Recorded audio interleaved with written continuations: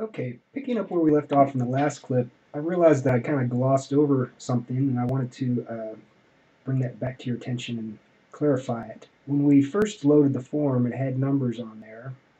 But Then I refreshed it and the numbers went away because I had previously edited the CSS for the skin that we're using in this site, which at the moment is uh, style shout refresh, I believe. And in the style CSS, what I had added to get rid of those numbers was this right here. So if I were to chop that out, we'd see it back as we originally saw it when we look at it in the browser. Refresh the page. Oh, it's not doing it. Okay, I think it's because usually when I'm working in my local machine, what I'll do is I will override some settings in user.config that allow the CSS to not be cached so that if I'm making a change while I'm designing, it will uh, reflect that in the page right away. It's not what you want to do for production, but it is something for designing, so I'm looking for the settings from web.config that are relevant, and I'll copy them to user.config and override them. That is these two settings right here. So I copy that from web.config into my user.config, and I'm going to change those to false so that it won't be cached.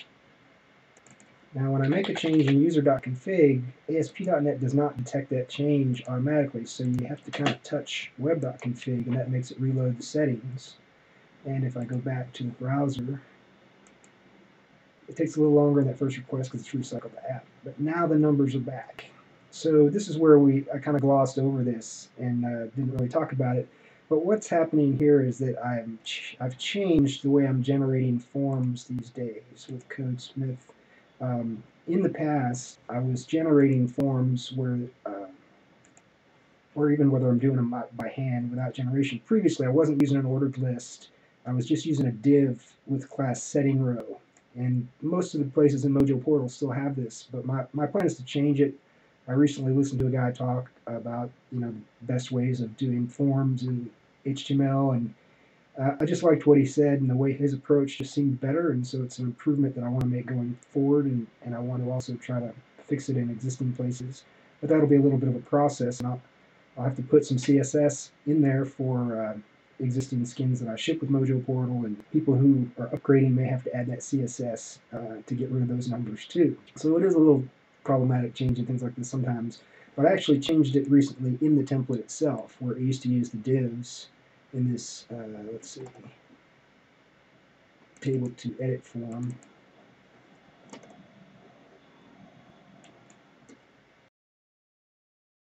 And basically, yeah, I added this OL and I changed this from a div to an LI.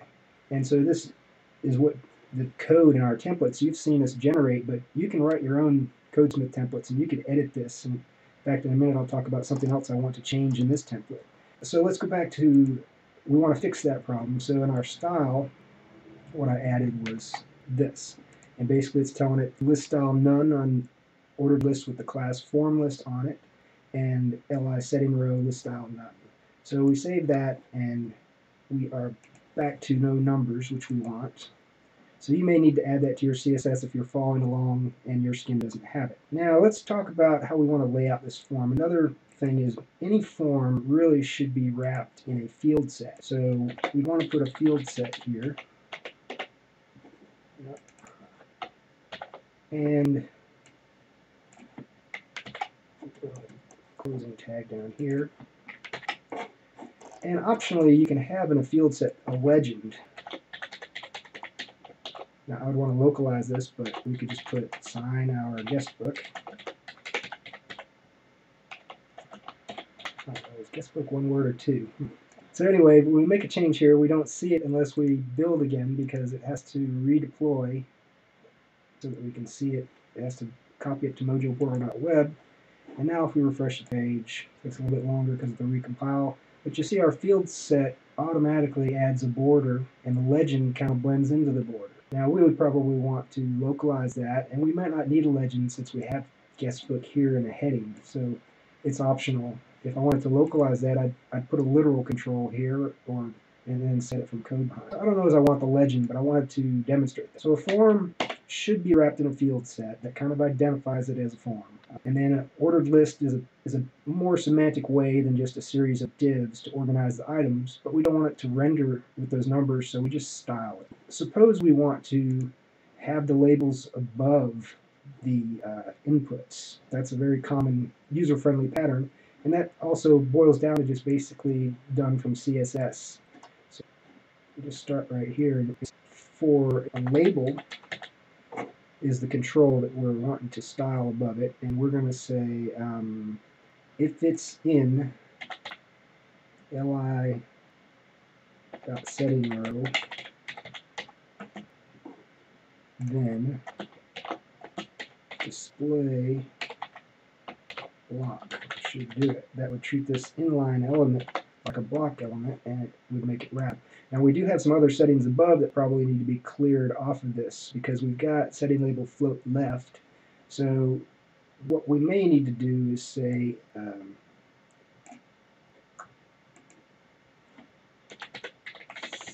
setting label instead of just saying tag label, which we could have done.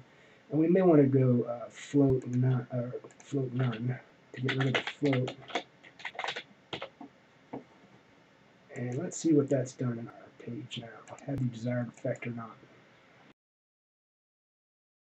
And there, pretty easy, huh? So that was kind of a neat trick that I saw in this video from a, a guy, um, and it kind of made me rethink, boy, I should do our forms that way in mojoPortal. A little bit better than what we've done in the past. So I think that's a little bit better, having the label on the top for this particular case. We haven't recompiled, so it still has this because we haven't redeployed the control. All we've done is change the CSS you know, the presentation I saw, the guy went on to say, you know, you can do even absolute positioning and stuff like that if you need to have some really strange layout, but it's very easy to go from labels on the side to labels on the top, simple CSS like that. How are we doing on time? Eight minutes. So that's just talking about, you know, improving the markup of our form, making it a little bit more semantic um, structure-wise. So I'm going to end this clip here, and then uh, in the next clip we'll pick up where we left off and add some more functionality.